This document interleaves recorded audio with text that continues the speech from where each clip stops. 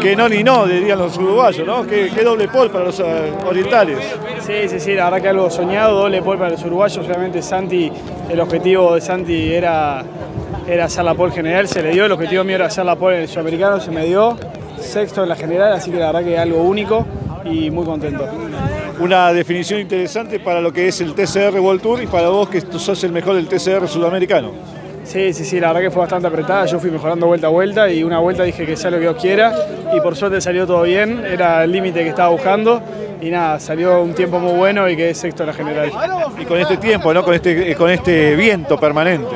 Sí, sí, sí, este clima loco, la verdad que estaba, estaba, estaba del... No llovió en Uruguay en tres meses y el jueves antes de la garra se pone a llover, fue toda una locura, se volaron las carpas, se mojó todo, todo embarrado, pero bueno, ahora el clima ayudó hoy, la gente acompañó, así que recontra contento.